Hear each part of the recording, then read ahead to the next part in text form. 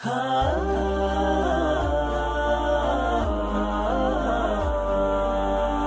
مع الذكر المبجل واستمع بالحق آية. من غدير الخير منهل فيه تسمو كل غاية. جاء بالذكر المنزل صدق تفسير الرواية.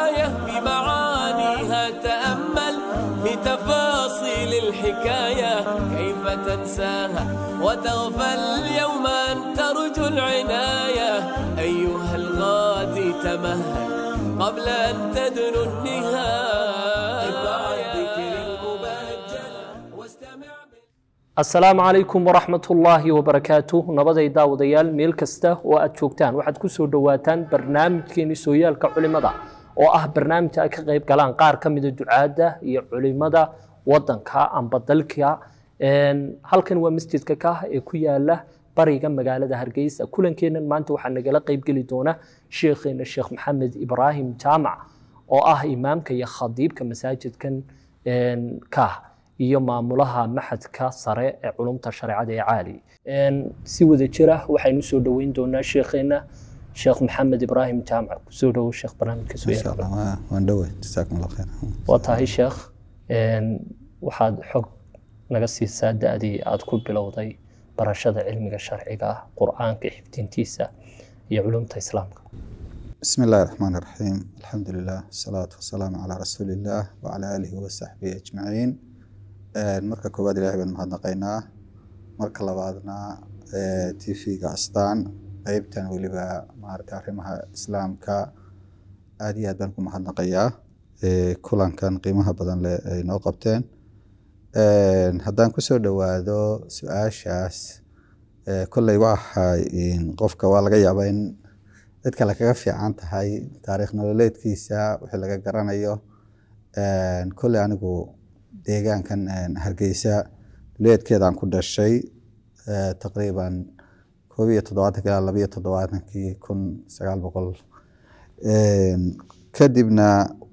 miyigaabaan ku barbaaray ilaa toban jiraan ka gaadhayey intaa intii ka dambeysay waxa aan ku barbaaray amba aan ku koray amba waxbarashadaydii bilowgeeda aan ka bilaabay wadanka jabuuti caasimadda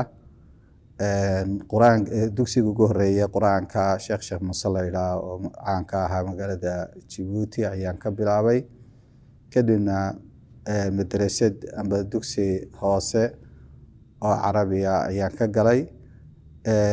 Kadibna waxaan u gudbay macad islaamiya oo magaalada jabuuti ku yaalla oo sacuudigu lahaa oon ka dhigtay dugsiga dhexe iyo dugsiga sare. Alxamdulilah halkaas ba aasaas u ahayd waxbarashadeydii diiniga ahayd oo xagga tacliinta nidaamiga ee sharciga ayaa bilow i ahayd intii ka dambeysay magaalada jabuuti waan xaqiiqatan oo aan odhan karo waa wadankaygi koowaad aan ku barbaaray wax ku bartay aan ku koray ilaa heer jaamacadeed aan ka gaadhayey kadibna waxbarasho iyo rixlaad waxbarasho ayaan markaa waxa weeyaan uga gudbay oo wadanka dibadiisa ama jabuuti ka baxsan. Saddex iyo sagaashankii ayaa dhammaystay waxbarashadii dugsiga sare ee macadka jabuuti kadibna waxaan waxbarasho ugu rixlaystay wadanka yeman oo weliba hadafkan u baxay marka ay ahayd xalaqaadka cilmiga inaan ka kororsado kol haddii ay marxaladii hoose ay dhammaatay ilaa sanad iyo badh aan markaa maraakiis tacliimiya oo shareecada lagu barto oo halkaa ka jiray aan ka dhiganayey kadibna deeq waxbarasho oo macadkii aan ka baxay ahaa iiga soo baxday oo jaamacaddii macadku ka tirsanaa oo sacuudiga ku taalay. Qeyb ka mida oo ku taalo wadanka mauritania la yidhaahdo amba wadanka shinqiid la yidhaahdo ayaan ka helay deeq waxbarasho.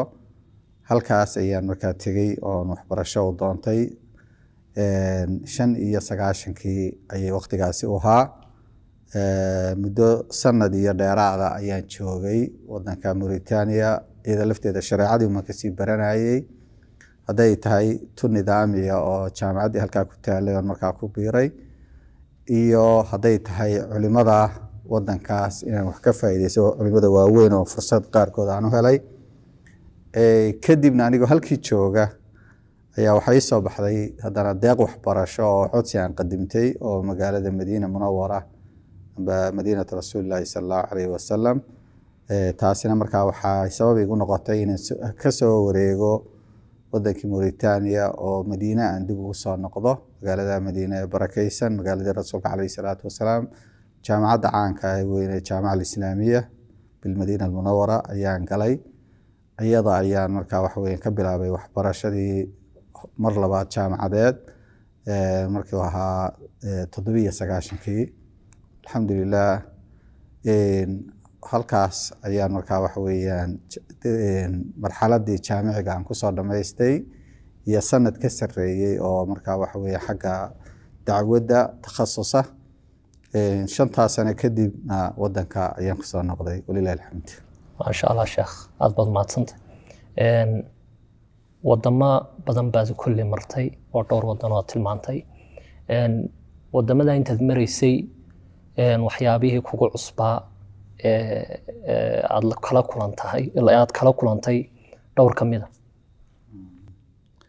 kolley horta meesha raadka igu leh ku soo barbaaray een wax ku bartay waxay ahayd magaalada jabuuti oo xaqiiqatan dee qofku yaraanta halka ku barbaaro wax ku barto waxay u leedahay xiise gaara dad badan oo macalimiina ayaa wax noo dhigi jiray oo jinsiyaad kala duwana soomaali leh sacuudiyiin leh yeman leh masaari leh.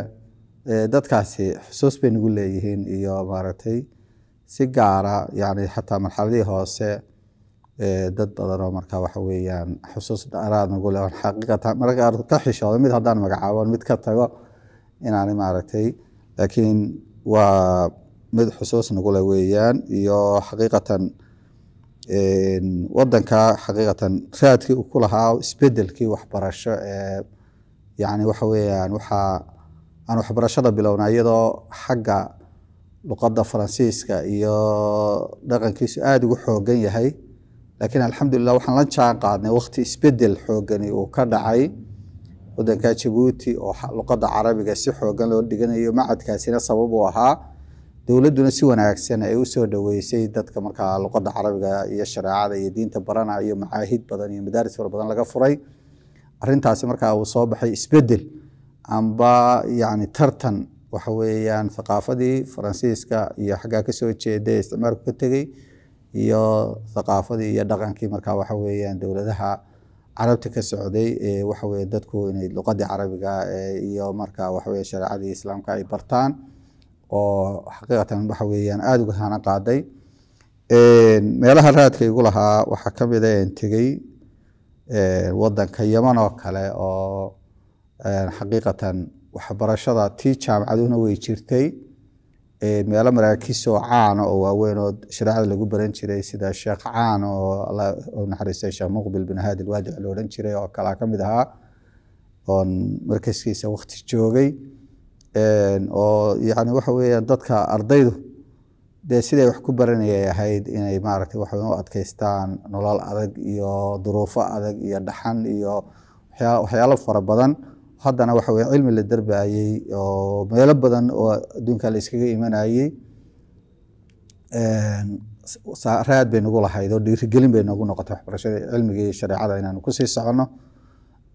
Waxaa ka mid ahayd wadanka mauritania oo xaqiiqatan isaguna markii aan tegey saameyn badan nagu lahaa maxaa yeelay waa dad aada moodo horta aada aynu iskugu dhaqan dhownahay oo reer miyi u badan waxyaaladay nagaga duwan yihiin waxaa ka mid a dadka cilmigu wuxuu ku badan yahay dhulka miyiga. Yani haddaad aqoon diineed dooneysid amba inaad aada wax u barata aad dooneysid meeliba meelahay miyiga ka sii xigto ayaa tegeysa waxyaalada ay ku faanaan waxaa kamidna waxaa ka mid oo yidhaahdaan maaragtay yani itakhadna duhuura alciisi madrasatan yani biha nubayinu kitaab allahi tibyaana. Yani waxaanu ka dhiganaa awrta dushooda. Madrasad aanu dadka amba dugsi aan wax ku barayno oo kitaabka ilahi aan ku bayaaminayno lidaalika nin iyagoo xoolahooda la joogaad arkaysaa qur'aankii ayagoo wada xafidsan ayagoo maaragtay waxa mutuun fara badan iyo kutub fara badan korka ka haya ayagoo wada gabayaala. Arintaasi markaa waxay aada maskaxdeyda ku soo celcelin jirtay. Sideynu u qaadan karnaa tajribadaas in aanay isdiidahayn dadku ayaga xoolahoodii dhaqanaya oo noloshoodii ku nool inay marka haddana diintii baran karaan oo waxawe si xoogan weliba ay u baran karaan.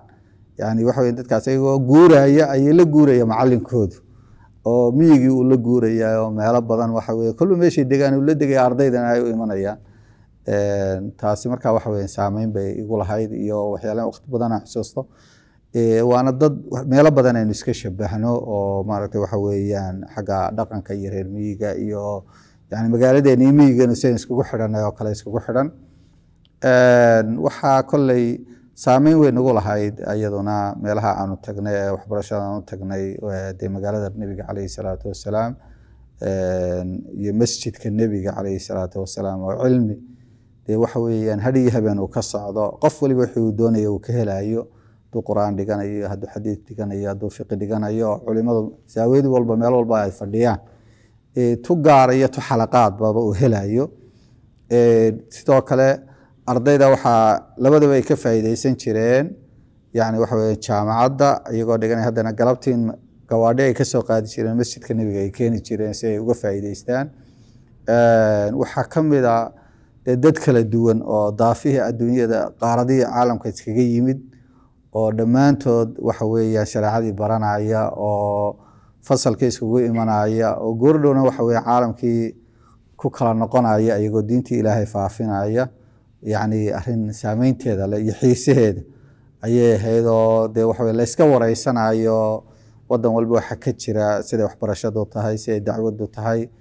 Aad arkayso wadan dee dacwadda cidhiidhi ay ku jirto iyo wadan markaa waxa weeyaan wax dhibaatay aanay haysan dadka culimada iyo dadka ducaadda xaqiiqatan arrimahaasoo dhami dee qofka marka waxbaranayo dee saameyn bay ku yeelanayaan taasi waxay nagu xambaari jirtay bal inaanu anaguna isweydiino waxa waxaanu la noqonayno oo wadankii maxaa looga baahan yahy aanu ku noqonayno qaar naga mid oo culimada maanta magaalada jooga sheekh maxamed aadan iyo oon isku soo gaarnay baa ka mid ahaa iyo culimo kale yani waxa macaali iyo rag badan baanu ka tashan jirnay war wadankii waynu ku noqonaynaa maxaynu ku noqonaynaa marka nin waliba meelshuu islahaa halkaas ayuu wax ka kordhin karaa ayaa qeyb ka ahayd yani waxa weeyaan inuu dee u diyaar garoobo ayay ka mid ahayd. Maasha allah aad baad mahadsantahay sheekh markii aad dalka ku soo noqotay aad soo dhammaysatay barashadii cilmiga iyo culumta islaamkaba maxay ahayd waxyaabii ugu horreeyey aad bilowday? Waxbarashadii inaad aad cilmiga aad soo baratay aad dadka sii gaadhsiiso se masaajidadii ugu horreeyey iyo goobihii ugu horreeyey aad ka bilowdo halkee bay ahaay wallahi kolley horta dee meelahan ka warramay dibadda qofku markuu joogo inta badan wadankii wuu saxiisoodaa iyo dadkiisii iyo ehelkiisii iyo meeshii uu ka tegey. Anigoo markii hore jabuuti ka tegey oo ku barbaaray haddana qasab waxay noqotay inaan hargeysa aan u noqdo. Waxyaaladii markaa maskaxdeyda aada uga guuxayey waxaa ka mid ahaa xagga dacwadda iyo barashada shareecada maadaama anagu shareecadan ku soo barbaarnay sidii wadanka waxaa jira wax loogu soo kordhin lahaa. Alxamdulilah aniga markii aan soo noqday horta waxaan kala howlgalay dee waxbarashadii jirtay ee madaariskii jiray qaarkood inaan wax ka dhigo. Laakiin markiiba qorshe waxaanu bilaabay aniga iyo rag kale bal maxaan magaalada ku soo kordhin karna maxaa ka dhiman? Waxaa jira alxamdulilah khayr badan baa jira. Laakiin maxaa inaga banaan? Waxaa noo muuqatay xaqiiqatan shareecada macaahid lagu dhigtaa oo aada u habaysan waqtiga inaanay jirin oo weliba dee maaragtay qaabkii ay u shaqeyn jireen macaahiddii aanu ka baxnay inay ku yar yihiin. Fikrad baa markaa nagu bilaab nagu soo dhacday inaanu macad shareeca ka furnay magaalada hargeysa. Aniga iyo culimo kaloo ayaguna yeman ka yimid oo sheekh cabdiraxmaan cumar cigaal iyo sheekh ibraahim axmed xirse cabdiraxmaan aadan cige culimadaas waxaanu kala tashanay culimada waaweyn ee magaalada oon fikraddii la wadaagnay ayagana dee wadankii maadaama ay nooga xogogaalsan yihiin naga yaqaanaan sheekh sheekh maxamed cumar sheekh maxamed sheekh cumar dirir sheekh xasan cabdisalaam sheekh maxamed aadan. Culimo badan baanu kala sheekaysanay hawshii. Aad bay noola soo dhoweeyeen waanay nagu garab galeen sida macadkaasi u furmi lahaa. Xaqiiqatanna waxaa ilaahay subxaana watacaala suurto geliyey in machad aan isleenahay macad aada u nidaamsan oo dadku aada uga faa'iideystaan oo wax badan magaalada ku soo kordhiyey macadka la yidhaha macad dacwa in magaalada hargeysa ka furno laba kun iyo saddexdii. Macadkaasi hadda waa uu jiraa ilaa shan farac baanu maraya oo magaalada hargeysa ku yaalla. Meelo ka baxsanna maaragtay qeybo furuuc baa ka jira.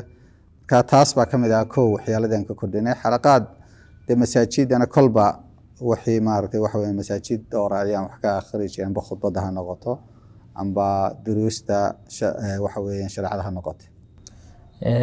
Waxaa jira maxad maxadu caali la yidhaahdo oo aad si rasmiya gacanta uga haysood maamulo ka tahay.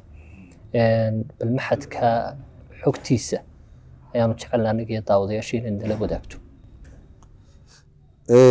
Kolley macadka macad dacwa macad alcaali lidacwa wadaraasaat alislaamiya oo bilmunaasaba aan hadda aan la wadaagayo walaalaha in uu insha allahu tacaala magacii macad uu ka gudbayo oo jaamacad insha allahu tacaala sanadkan ku howlgelayo isagoo marka horeba magaciisu macad ahaa laakiin sida jaamacadaha iyo de waxa weye ictiraafka jaamacadaha uu haystay oo wasaaradda waxbarashada uu ka haystay macadkaas macad alcaali la yidhaahdo wuxuu ku yaalaa bariga magaalada hargeysa aagan magaala kaah macadkaas wuxuu qaabilaa asal ahaan ardayda jaamacadaha soo dhammaysay jaamacadaha kala duwan ka soo baxay. Ayaa la aqbalaa khaasatan inamada.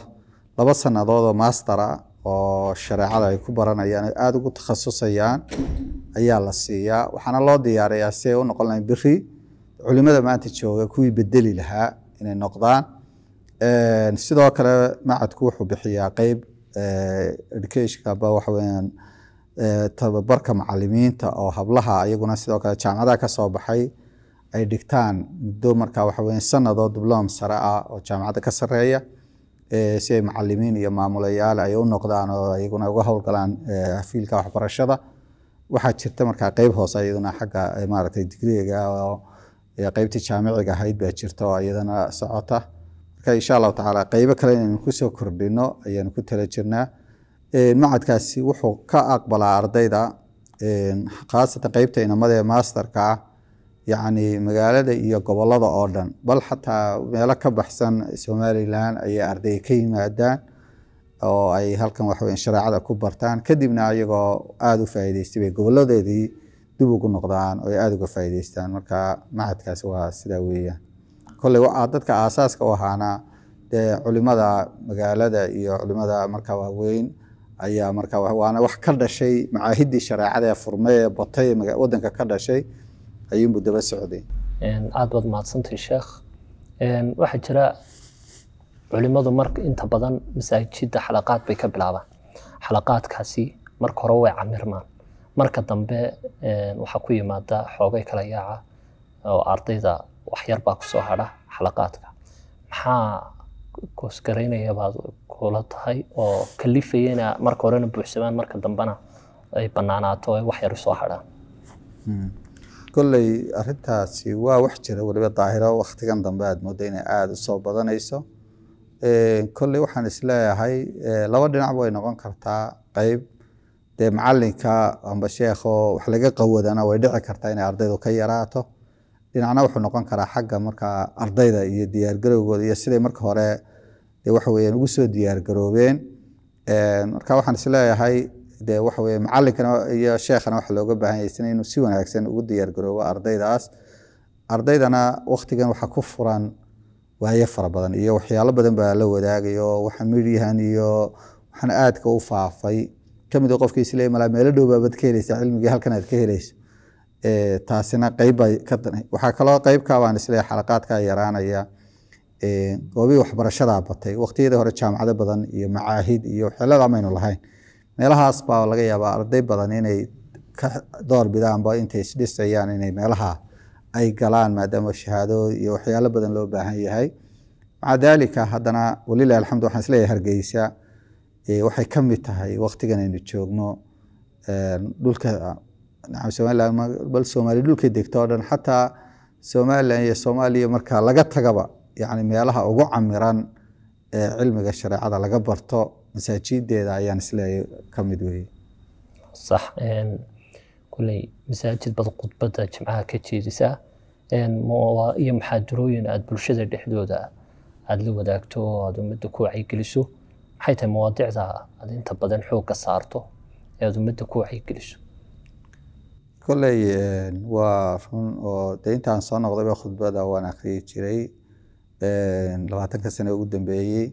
Waxaanan imika intii ugu dambeysay ilaa toddobadii sane ugu dambeeyey aan joogtay ahayd masaajidkan aanu joogno ee masjidka ka ah ku yaalla khudbadda xaqiiqatan dee dadka bulshada lala hadlayaa bulshadu marar fara badan waayaheeda iyo waxyaaladay u baahan tahay xaaladaha taagan khudbaddu waa inay wax ka tiraahdo mararka qaarkood dee dadka aakhiradooda in la xusuusiyo oo la wacdiyo waa waxyaalo in badan aynu u baahannahay oo dadka xagga iimaanka iyo dee waxa weeye caqiidada iyo akhlaaqda laga dhiso. Marka waxaan is leeyahay ee, khudbaddu waxay ka dhalataa yacni bulshada saaxa waxyaalada ka taagan meesha qofka uu ku nool yahay khadiibka amba qofka khudbadaynaya inuu la socdo oo waxa weeyaan dhibaatooyinka jira. Tusaale ahaan dee maalmahan waxaynu ka hadlayn khudbada ugu dambeeyay mukhaadaraadka oo kale. Maandooriyaha aadka inoogu faafay maxaa jira? Waa daahiro waxyaalo aada u soo shaacbaxay oo dee dowlad iyo shicibba laga qayliyey. Marka sidaas oo kale ayuun baan maaragta hadba wixii taagan aanu culayska saarnaa munaasabaadka ka mid a dee rabadaan markay tahay wixii rabadaan ku saabsan laxaad kala saara waqtigii zakadii lagala hadlo waqtigii xajkii xajkii lagala hadlo mararka qaarkood dadkii eh, waxa iyo maaragtay lagala hadlo. Eh, arrimahooda marka adduunyo laftooda maaragtay waxa weeyaan eh, waqtigii u baahan yihiin hadday roobab da'aan hadday waxa weye dhibaatooyin jiraan hadday abaara jiraan. Yacni dareenka ummadda meel lagu gudbiyo oo baahiyahoodana waxa weye lagu tawjiya ay ka noqonaysa wallahu aclam aada waad mahadsantahay sheekh waanu kaaga mahad celinaynaa waktigaaga qiimaha badan ee aada noo soo hurtay haddii maanta uu ku imaado arday doonaya inuu barasho uu barto culumta islaamka.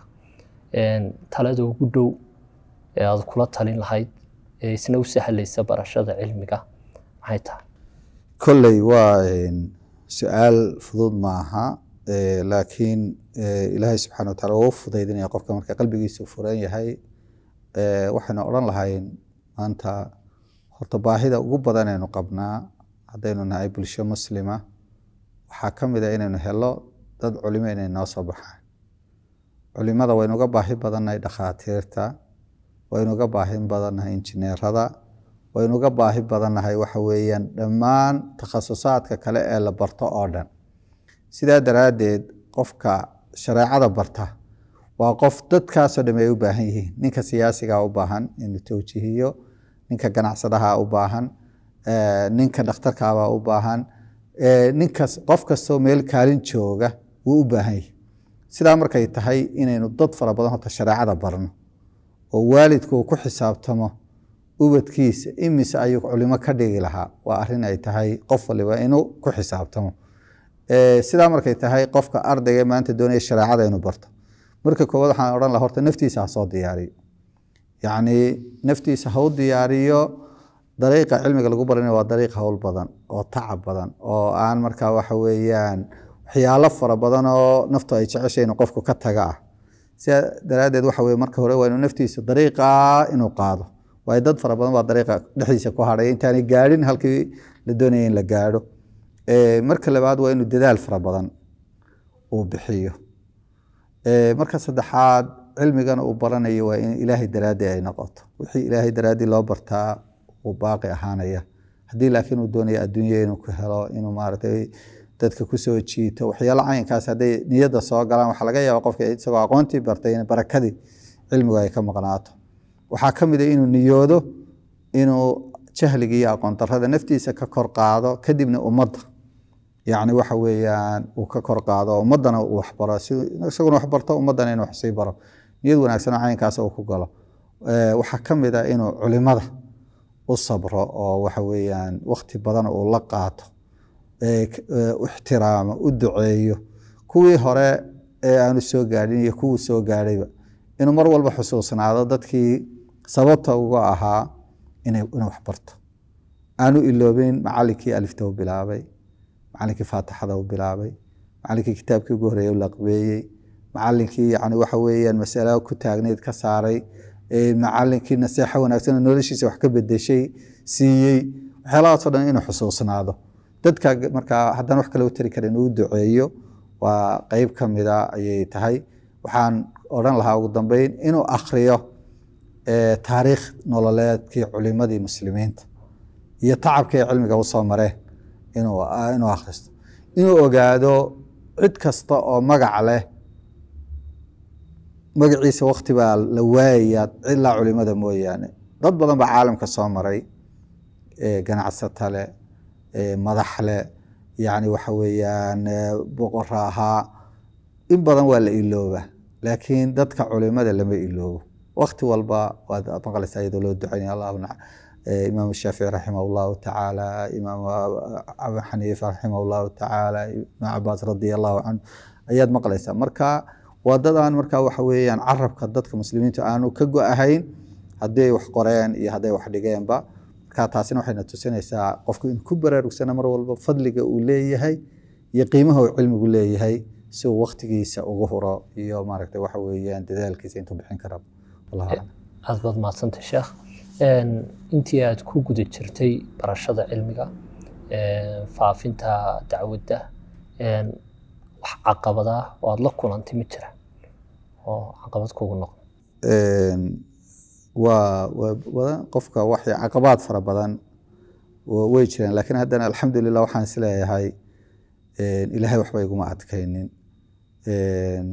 Yacni waxaa na soo maray mar labadii ay sinaadeen waxbarashadii faraha ka qaado iyo dee waxa weeyaan inaan nolol aada u adag aan ku jiro markaa de waan ku qasbanaaday waanan u sabray alxamdulilah ilaahayna waa igu guuleeyey marar baa soo martay anigoo waxbarasho dabadeed doonaya inaan u baxo aan hayn yani waxa weeyaan tigida waxaan ku raaco waxaan masaariif ka dhigto oo haddana ilaahay subxaana watacaala meelaanan ka filahayn uu iga siiyey uu iga fududeeyey caqabaad fara badanoo xaqiiqatanna soo maray. Way jiraan lakiin waxaan is leeyahay wax maanta dee waxa weeyaan la iloobay. Laguna iloobay markaa barakada cilmiga iyo barashadiisa ayunbay tahay. Marka dariiqa culimada horeba u sheegeen waxay dhaheen laa yunaalu lcilm biraaxati ljismi yacni qofku jirhkiisu inu iska raaxaysto cilmi laguma helo. Marka alxamdulilah way caqabaad yar way jireen lakiin waxaan is leeyahay way culisiinaan baan jecelahay maanta halkan inaan ka sheego badan ma jireen guntii iyo gebagabadii barnaamijkeena fariinta ugu dambeysa ee barnaamijkeena aad ku gebagabeynaysa maxay tahay? Waxaa fariintayda ugu dambeysa ay noqon lahayd xaqiiqatan maantaan waxaan is leeyahay haddaynu nahay yani waxa weeyaan amba magaaladeena hargeysa ha noqoto amba dadka soomaaliyeed meel kastay joogaanba ha noqotee baahida ugu weynaynu qabnaa waa diinta islaamka. Oo aynu baranno oo aynu ku dhaqanno oo aynu ka run sheegno. Taas baanan is leeyahay mashaakil fara badan oo jira xal bay u noqonaysa. Qofka mashaakilkiisa gaarka ah ayaa diinta ilaahay hadduu barto oo uu ku dhaqmo ay xalinaysaa waxay xalinaysaa mashaakilka qoyska haysta ayay xalinaysaa waxay xalinaysaa mashaakilka bulshada haysta qeybaheeda kala duwan ka doonto aad haatid ganacsada haddaad tahay mashaakilkaaga oo dhan shareecada iyo diinta u bandhig. Ka run sheeg. Haddaad tahay marka waxa weye siyaasi diinta ilaahay subxaana wataala ka run sheega oo ku dhaqan. Haddaad tahay caalim qof diinta ilaahay bartay ka run sheeg diintaad xambaarsan tahay. Yacni inay waxaynu leenahay qofku waa inuu noqdo qof ilaahay subxaana watacaala diintiisa ku dhaqmaaya. Aqoontiisa hadday doonto ha gaabnaatay wixii uu ka bartay sideeda ugu dhaqmaaya kuna qanacsan diintiisa. Inaynu noqono ayaynu maanta u baahanay waana tan fariinta aan halkan u marinayo dadka culimada iyo dadka ducaadda iyo dadka dalabato cilmiga in ilaahay subxaana watacaala diintiisa ay gaadhsiiyaan dad ducaada ay noqdaan. Taana waxay sabab u noqonaysaa in ilaahay subxaana watacaala arrimahooda oo dhan ayagana uu xaliyo waman yataqi illaaha yajcal lahu makhraja wayarzuqhu min xaysu laa yaxtasib waman axsanu qowla miman dacaa ila allah wacamila saalixan waqaala inanii min almuslimiin sala allah calaa sayidina maxamed waa tahay daawadayaal waxaynu intaasi ku soo gebagabayneynaa ku soo afmeeraynaa barnaamijkeenii sooyaalka culimada oo maanta uu qeyb nooga ahaa inagana qayb galay kuna soo booqanay halkan oo ah masjidka kaah sheekheena sheekh maxamed ibraahim jaamac. Waxaynu uga mahad celinaynaa wakhtigiisa qiimaha qadarinta xushmadda mudan ee uu inoo soo huray. Intaynu ku kulmi doonno barnaamijka barnaamijkan xiga waxaanu idinku dhaafaynaa assalaamu calaykum waraxmat ullaahi wabarakaatu